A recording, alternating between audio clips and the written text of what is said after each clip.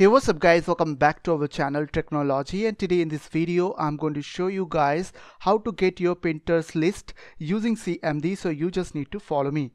So at first you need to go to your start menu and type over there CMD. Now click on command prompt and after open command prompt you have to put some command over there so I will give you the commands on my video description. The, the first command is WMIC space printers printer space list then brief.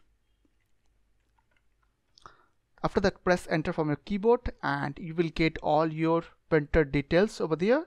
So as you can see here is my HP DeskJet 5820 series printer. Also you can use another command is called WMIC space printer space get space name. After that press enter from your keyboard and you will get all your printers list over there so in my case here as you can see here is my printer HP DeskJet uh, 5820 series so I hope this small video will really help for you and please don't forget to click on the subscribe button, like button and share button and if you have any questions or questions then comments down below. I will see you guys on the next one next video. Take care.